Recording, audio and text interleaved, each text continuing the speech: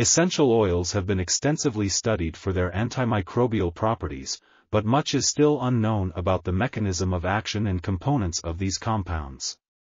Recent studies have shown that nano-encapsulated essential oils can enhance their bioavailability and efficacy against multi-drug-resistant pathogens. Synergistic combinations of essential oils with antibiotics have also been recommended as a potential solution to the problem of antibiotic resistance. However, more research is needed to understand the interactions that lead to additive, synergistic, or antagonistic effects and to design new and more potent antimicrobial blends. This article was authored by Sonam Chouhan, Kanika Sharma, and Sanjay Guleria. We are RTCL.TV, links in the description below.